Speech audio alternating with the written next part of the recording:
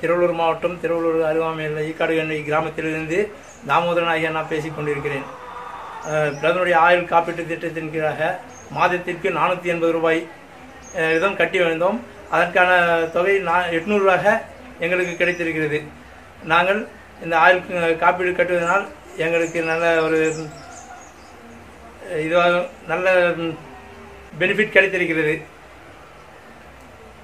பிரதமருக்கு நாங்கள் நன்றியுரை தெரிவித்துக் கொள்கிறோம்.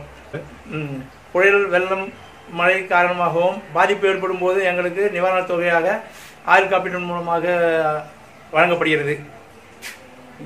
இதற்காக நாங்கள் பிரதமருக்கு நன்றி தெரிவித்துக் கொள்கிறோம்.